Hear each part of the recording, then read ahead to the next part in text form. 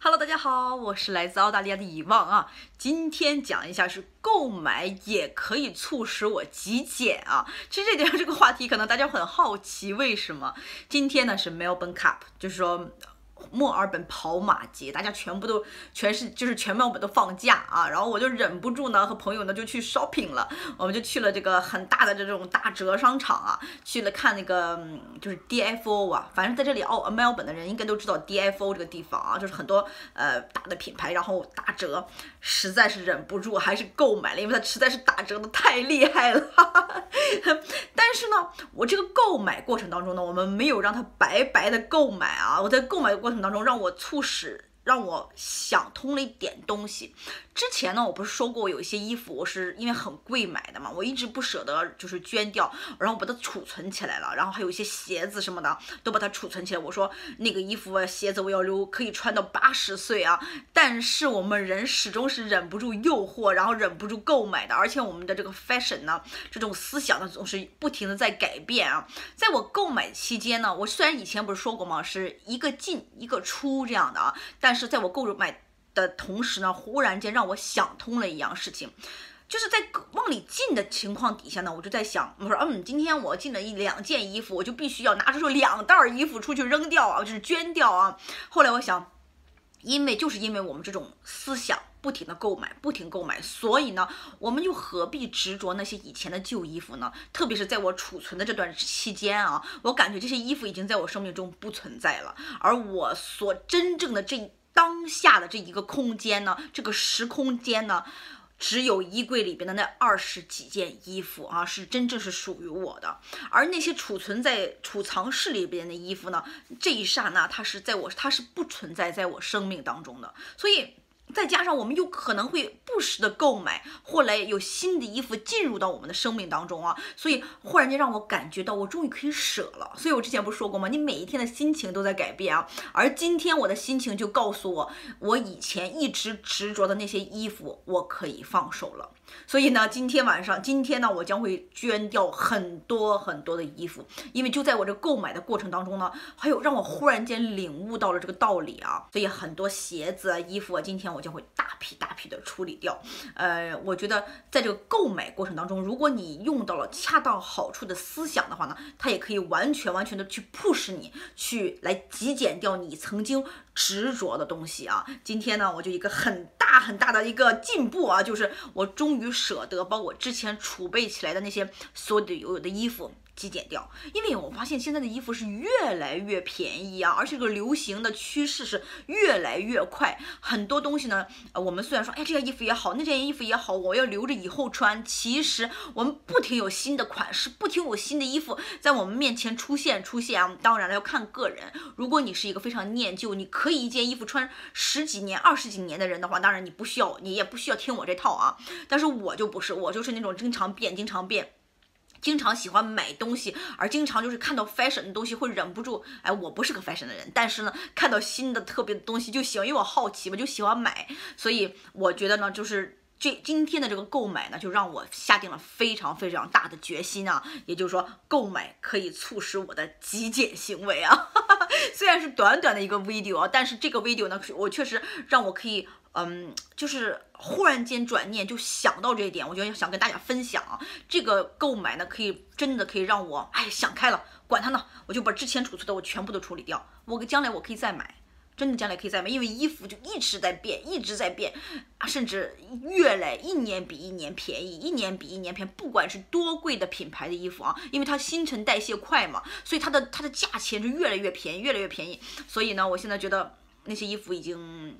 该时候是放手了，今天决定真的是该时候是放手了。好嘞，也希望你们自己去会去好好想一想啊，和我一起继续做极简。我终于把我一直执着的东西啊，终于舍得放手了。这些呢，就是我今天打算处理掉的东西啊。呃，之前给大家说过，今天去少忍不住 shopping 了，但是 shopping 当中呢，也让我想通了很多，所以呢，这也是放下了很多执着啊。有些衣服这是还没有折，这是我女儿要扔的。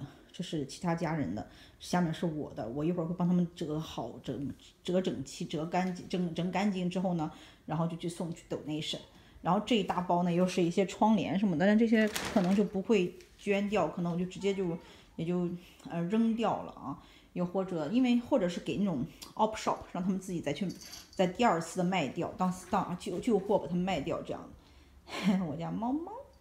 我今天呢就想给大家介绍一下我女儿的房间啊。其实很多朋友都说说如何让自己的孩子跟着也一起极简干净啊，这就是看这是她的房间。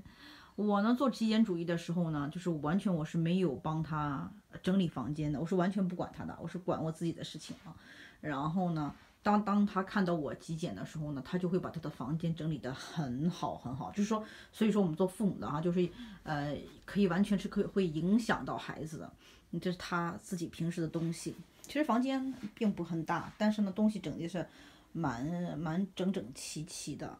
然后这是丝巾啊什么的，而且有些很多时候，我们应该给他孩子准备好一定的，就是呃。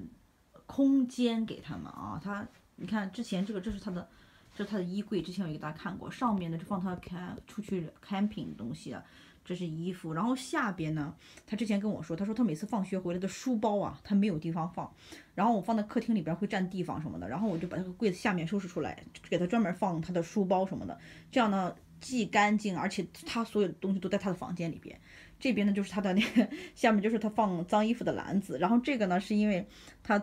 今天生日，然后这是他所有朋友给他的 gift，他就暂时的放在这里边。然后这边呢是放他所有的这些小装饰品啊、首饰啊，然后耳环啊什么的。然后这里呢就放他的这个他的他的什么指甲油啊、眼镜什么的，这全部都是他自己 organized 的啊，非常非常的好。然后我跟大家说过，之前我不是在整理过他这个衣柜嘛，看一下。然后呢，这上面上面就是我之前给大家整理过，就是给大家看过，我给他整理的衣柜在上边。然后下面呢，我就没有理他，看到了吗？这是他自己整理的。他看到我上面给他整理之后，他下面这是他自己的衣柜，这全部他自己整理的，他的抽屉啊什么的，这下面是他自己，我是完全不管他的，他的东西呢，我是。呃，不是不不，从来不随便扔他的东西，也不会帮他整理，因为他十三过了生日，今天他就十四岁了啊，是大姑娘了，所以呃，他的所有东西都自己整理，这是他的他自己。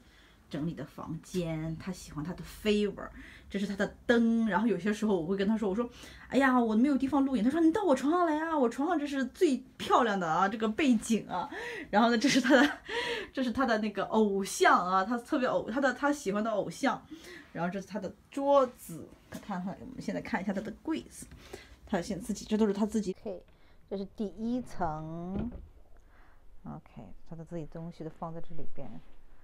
嗯，整理的很很不错，就是很干净，知道每一每一排都放什么，很很清楚。然后这里边每一个抽屉里边都有他自己写的东西呀什么的，嗯，啊，下边也是他的包包啊什么的，就是 organized 的非常非常好啊。其实孩子很多时候，只要我们是。我们是可以影响到他们的，就是说不需要，你不需要去帮他整理，你要相信他们，给予他们这种自信，给予他们这种，要让他们相信他们自己可以把自己的生活打理的非常非常好啊！你看，这这个整个房间就是他的小天地，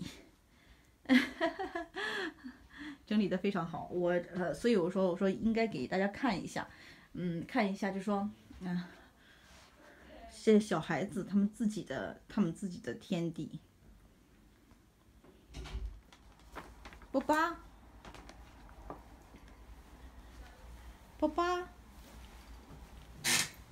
，Hello，Hello，喜欢待在塑胶袋里的波波，波波，Hello，好玩吗？里边，里边好玩吗？嗯？里面好玩吗？嗯，